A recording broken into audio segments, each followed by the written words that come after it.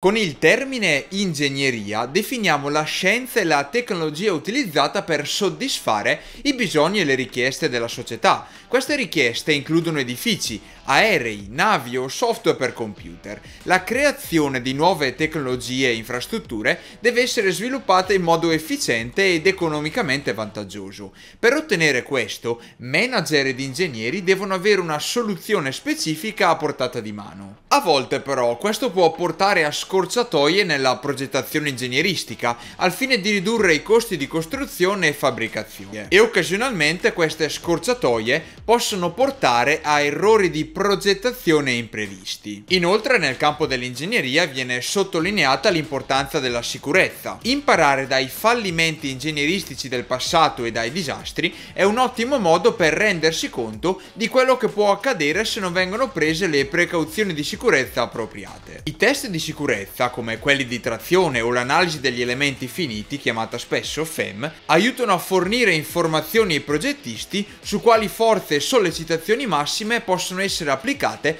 ad una determinata area di un progetto. Queste misure precauzionali aiutano a prevenire guasti dovuti a sovraccarico e deformazione. Ma quando si verifica un guasto? Il guasto si verifica quando una struttura o un dispositivo è stato utilizzato oltre i limiti di progettazione al punto da inibirne il corretto funzionamento. Se ad esempio una struttura è progettata per supportare solo una certa quantità di sollecitazione, deformazione o carico e l'utente ne applica quantità maggiori, la struttura inizierà a deformarsi e alla fine a cedere. Quindi sono diversi i fattori che contribuiscono al fallimento, tra cui un design imperfetto, un uso improprio, costi e comunicazioni errate. Perché vi sto raccontando tutto questo? Beh, perché parlando proprio di errori nel design, vogliamo spostare l'attenzione su Venezia, per parlare di un fallimento ingegneristico di uno dei ponti più belli della città e secondo qualcuno addirittura del mondo. Mi sto riferendo al ponte della Costituzione.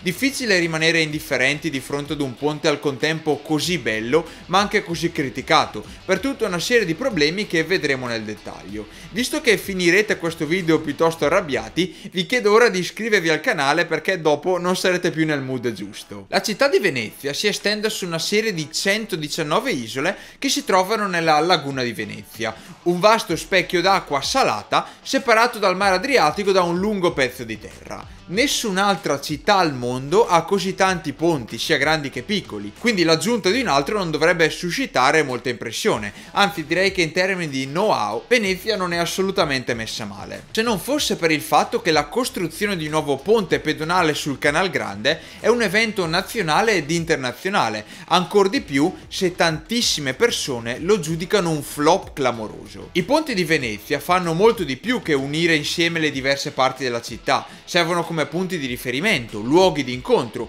punti di definizione in un tessuto urbano assolutamente unico. Il progetto di un quarto ponte sul Canal Grande aspira a soddisfare pienamente queste esigenze, apportando un elemento nuovo e vitale. Torniamo indietro al novembre 1999, quando Santiago Calatrava è stato incaricato di progettare questo nuovo ponte. Il progetto si colloca in un punto estremamente strategico che collega la stazione ferroviaria con Piazzale Roma.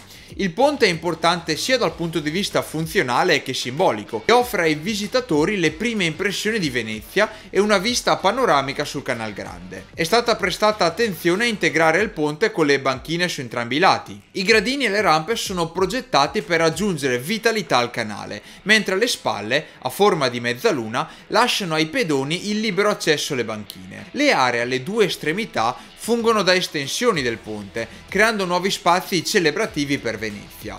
Sul lato sud il progetto prevede anche un nuovo passaggio tra Piazzale Roma e le piattaforme di ormeggio per il trasporto acqueo. Il ponte è lungo 94 metri, con una campata centrale di 81 metri. Sale da un'altezza di 3,2 metri a 9,28 nel punto medio. L'elemento strutturale, interamente in acciaio, è costituito da un arco centrale di raggio molto ampio, parliamo di 180 metri, e con due archi laterali e due inferiori. Aderenti agli archi ci sono travi costituite da tubi e piastre d'acciaio disposte radialmente a raggio centrale.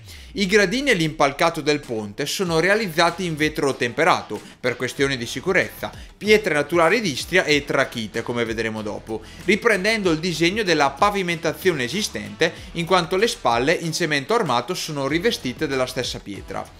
Il parapetto è interamente in vetro, con un corrimano in bronzo che ne costituisce il bordo superiore.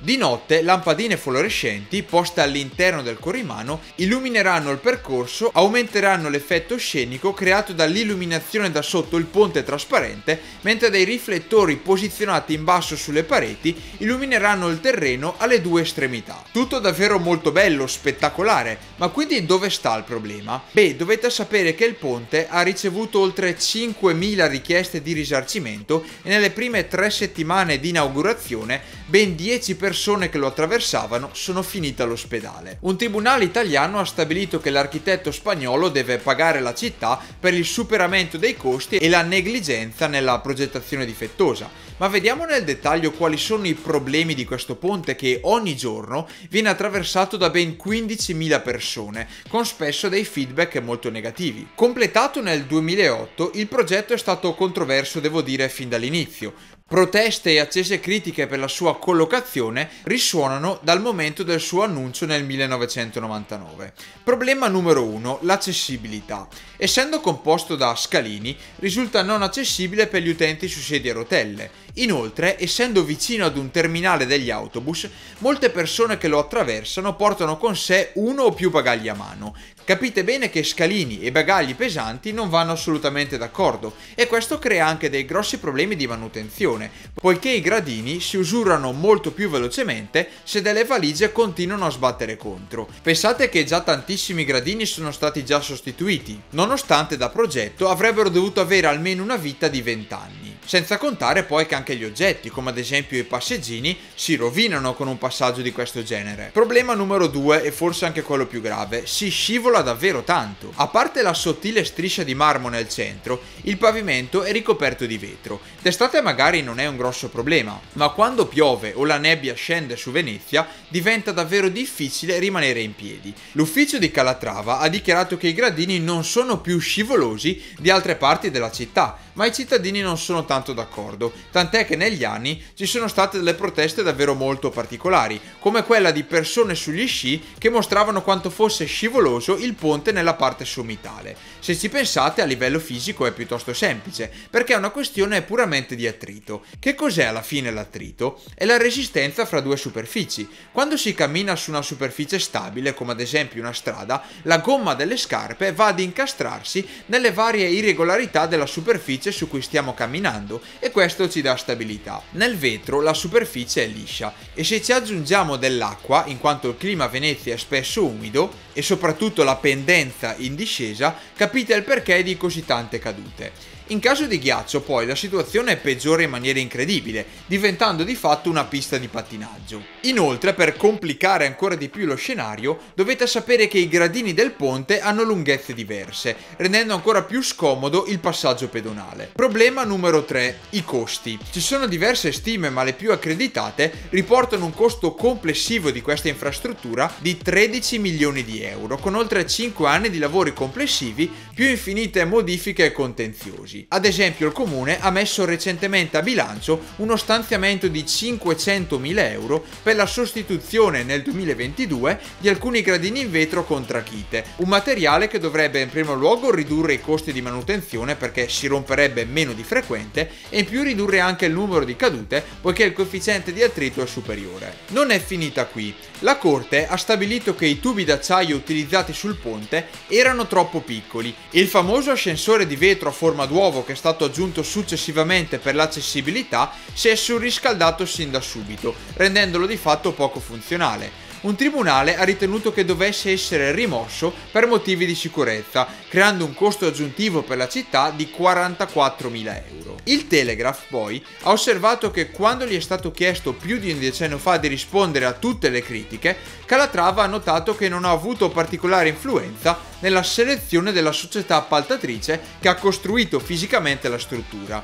Il suo lavoro, ha detto, era limitato all'estetica. L'azienda ha dichiarato che il montascale era di fatto incorporato nel progetto iniziale, svelato alla fine degli anni 90 ma è stato bocciato dal consiglio comunale. Quello che vi sto per dire poi non vi piacerà, poiché hanno affermato che gli utenti su sedie a rotelle avrebbero potuto prendere tranquillamente il taxi acqua o vaporetto. Come vedete purtroppo è un continuo scaricare le colpe fra un attore all'altro. E questa non è nemmeno la prima volta in cui il famoso architetto ha problemi con un comune per la complessità dei suoi progetti e soprattutto il tempo necessario per realizzarli. Nonostante ciò, i ponti sono una delle sue specialità, avendone progettati 35 in totale nella sua carriera. Il primo era situato a Barcellona ed è stato completato nel 1987. Come vedete ragazzi, quando si parla di ingegneria, a prescindere dal campo di specializzazione, bisogna sempre avere un occhio di riguardo per la funzionalità dei progetti e verificare che questi siano ben realizzati, per evitare dei terribili incidenti come quello del ponte Morandi o anche se in misura minore, quello che abbiamo visto nel video di oggi a Venezia. Ripeto, esteticamente risulta davvero essere un capolavoro che offre delle viste su Venezia senza il minimo paragone al mondo. Tuttavia poi quando ci si scontra con l'operatività di tutti i giorni, perché avete visto che migliaia di persone ogni giorno lo attraversano,